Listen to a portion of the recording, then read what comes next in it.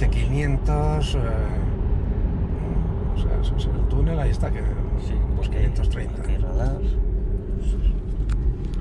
Y ahora el, el recorrido natural, me imagino que es, ¿no? Es- Vamos a